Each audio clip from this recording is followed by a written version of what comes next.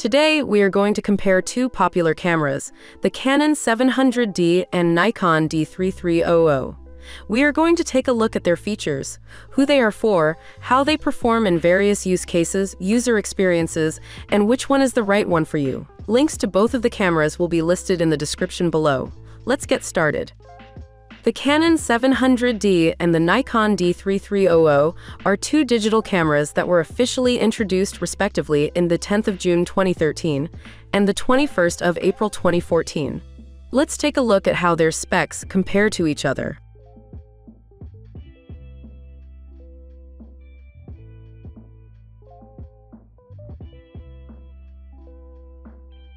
We tested both cameras to assess their performance in different scenarios. Let's take a closer look at our ratings for each of them. Here are our ratings for the Canon 700D. For portrait photography, we will give it a 7 out of 10 rating. For street photography, we will give it a 8 out of 10 rating. For sports photography, we will give it a 9 out of 10 rating. For day-to-day -day photography, we will give it a 7 out of 10 rating. For landscape photography, we will give it a 6 out of 10 rating. Here are our ratings for the Nikon D3300. For portrait photography, we will give it a 7 out of 10 rating. For street photography, we will give it a 8 out of 10 rating. For sports photography, we will give it a 9 out of 10 rating. For day-to-day -day photography, we will give it a 8 out of 10 rating. For landscape photography, we will give it a 6 out of 10 rating. Next, we will take a look at some sample photos from the Canon 700D and the Nikon D3300. Keep in mind that these photos have editing done to them, so the result from your camera might be different. Let's start with the sample photos. Here are some sample photos from the Canon 700D.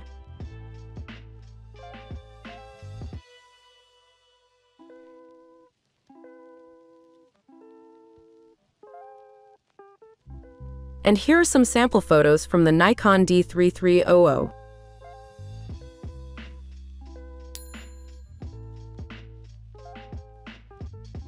Next, let's take a look at what other users of these cameras have to say about them. Here's what people have to say about the Canon 700D. I am absolutely thrilled with this camera. It has become an extension of me, and I never leave home without it. I bought the body separately to stick to my budget and have been able to use my old lenses with great results. The 50mm 1.8 lens is a must-have for beginners and takes beautiful, effortless shots. The camera works well with cheaper lenses, and I can't wait to build up to higher quality ones. I have had no complaints and highly recommend this camera to anyone who enjoys taking photos. I absolutely love my second T5i camera. It's lightweight, easy to use, and takes great photos. The image stabilization and flip-out touchscreen make menu changes and video a breeze. It's compatible with all Canon EOS lenses, even ones 20 years old. As a longtime Amazon member, I always rely on independent reviews and try to provide honest and helpful insight. I tend to review products that I really like or that let me down in some manner. If you found this review helpful, please click the helpful link below. Thank you and happy shopping. Here's what people have to say about the Nikon D3300.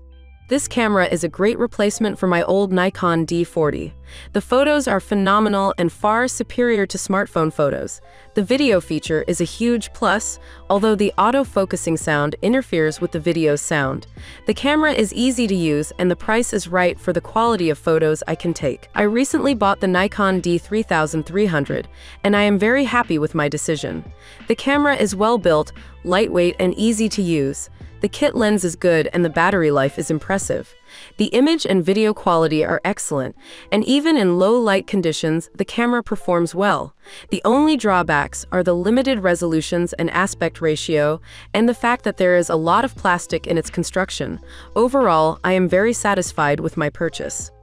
To conclude, here are our overall ratings for both of these cameras. Canon 700D, we will give it an overall rating of 8 out of 10. Nikon D3300. We will give it an overall rating of 8 out of 10.